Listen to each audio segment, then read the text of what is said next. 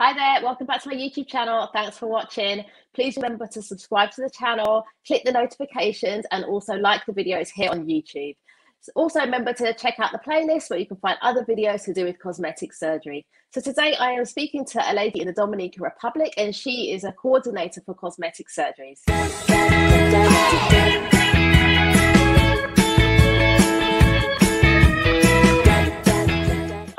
Thank you so much for joining me today. Please just introduce yourself and just tell me a little bit about what you actually do. Okay, hi, my name is Ana Lorenzo. I am nursing plastic surgery coordinator from Dominican Republic. Brilliant. Okay. So um, I suppose you're helping uh, clients that are maybe coming from the US for surgery. Is that correct? Yes. So I help the ladies from the United States or whatever country for coming here for plastic surgery, like liposuction, BBL, tummy tuck. That's great. So where about uh, do you help with um, clients coming from to anywhere in the Dominican Republic, or is there a specific location that you're based in? I am in the central city, choose a specific location because the all the surgeons work here in the central city. So okay. I say like in Santo Domingo. That's great. So tell me, um, what sorts of things are you recommending? Do you are you able to recommend surgeons and um, housing, like where they're going to stay? What sort of things are you helping with in your package that you're providing for the clients? Um, I work with the a lot of surgeons here. So all the time, so when the patient told me I like this surgeon, like I like la, la, la, I like um, Dr. Medina, for example. Mm-hmm. I can bring the quote, I can bring the stuff and everything. Like, if you come in here by me, it's my responsibility yeah. to give you everything, whatever you need. If you need going to the whatever place, I will going to stay with my patient all the time. Okay. So, are you able to collect the patients as well, like from the airport? Yes, I will. I have my driver, I have my chef, I have my masseuse and me. I am the nurse, so I I never send another person. It all the time is just by me. I will go into the airport and I will meet my patient from the airport. I talking with my patients before coming here or to the enter moms and I told my patient what what what they need before coming here because I like to do everything right. Yeah, brilliant. So, um, so with the post-op care, are you helping the patients with the post-op care as well afterwards? Like helping yes. them in their accommodations? Yes, I help in everything. So I give a shower, you can take a shower, but we clean the body because you know so many people yeah. don't like that. But the doctor say we can use the wipes and so many um gels, antibacterial for clean the body, like the arms and so many areas and I wash the faja. I put it on the faja. I have my patient. If you know, go, if you're going, if you need going to the bathroom or everything, I work 24 hours, so I don't sleep. If my patient don't sleep, I will say all the time just for bring the service. It's just like this. For that reason, all my patients have a good reference for me because yeah. I will stay all the time on point. If you need me, I will be a stay with you. That's brilliant. How long have you been um, doing the post-op care for in Dominica Republic? How long? Uh, how many years? The, how long? Yeah, how long have you been doing post-op care? I have six years working, but I work in the I work in the um, military hospital. I am oh, okay. certified by the Ministry of Health here. So I work for both. I work for plastic surgery because it's my own business, but I work for the hospital too. And I have six years working. I am training in emergency and everything. Oh, okay. That's brilliant. So, um, just say uh, the the clients when they're coming over, um, do they have to bring like um, their own, like say, toiletries and supplies, or is there anything that you're able to help them with or supply as part of your service? Um, the supply, you say?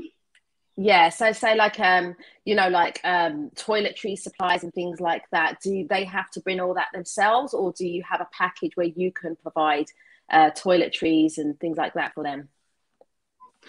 I have uh, I have a package for everything, but all the time I recommend my patient coming here with their stuff. Yeah, it's more yeah, okay. because you can order for Amazon. Here is more expensive because we have yeah. to order and we have to pay another price for send. So it's more better when the pay, I give my patient the list. It's basically so you you don't need too much stuff. So many people come here with a lot of stuff and you don't need it. You don't we will say a lot of stuff. You need just only pads because we use the pads for putting inside the faja. That's for mm. protect the fat into the skin because when you have the liposuction, it's like a broke your tissue inside, and you have you have to. It's too hot here, so you have to protect your mm. skin. We use the pads yeah. for that. We put the pads from the side and in the front.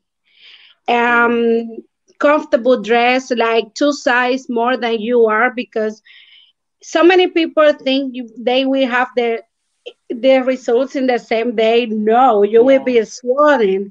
So you have you need the comfortable dress or comfortable pajama, and we use that. It's more comfortable for if you wanna need to go to the bathroom because you have the faja, have the palm, have the pads inside, and it's too hot here. It's a tropical country.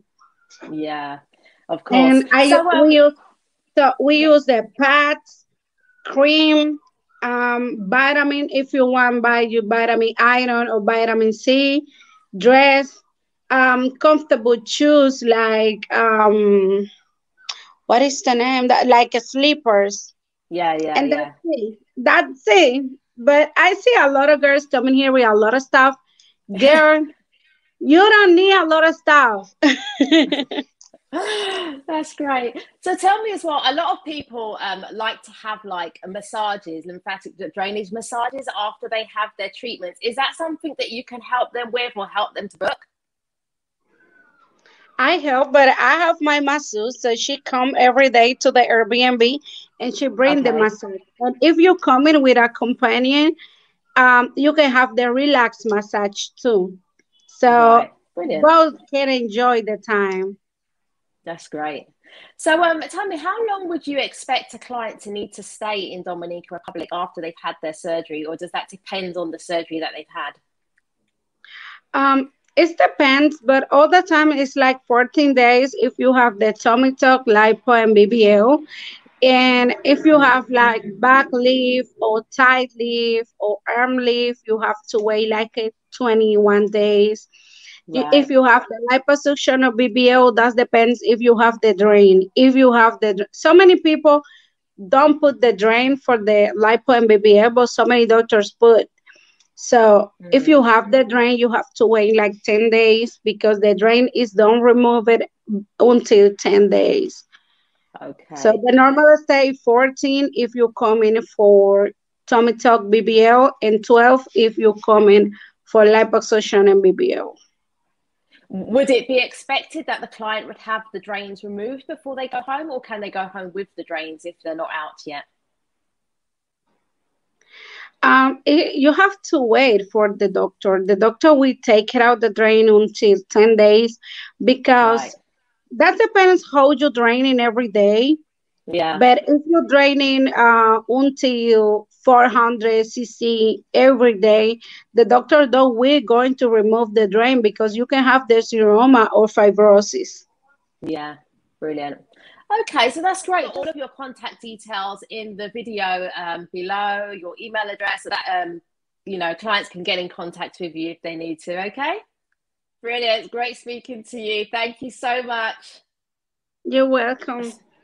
Bye.